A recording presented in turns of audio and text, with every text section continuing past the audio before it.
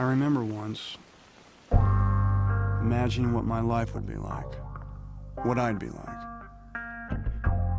I pictured having all these qualities strong, positive qualities that people could pick up on from across a room.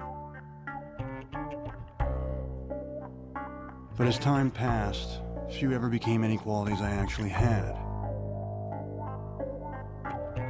And all the possibilities I faced, and the sorts of people I could be, all of them got reduced every year to fewer and fewer until finally they got reduced to one to who I am.